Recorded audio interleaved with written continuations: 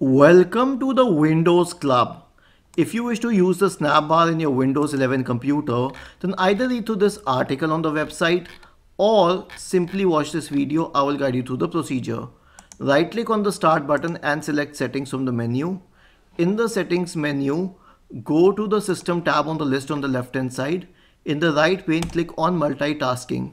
After that, click on the download pointing arrow associated with Snap Windows you'll find this option named Show Snap Layouts when I drag a window to the top of my screen. Check the box associated with it to enable snaps and uncheck it to disable the function.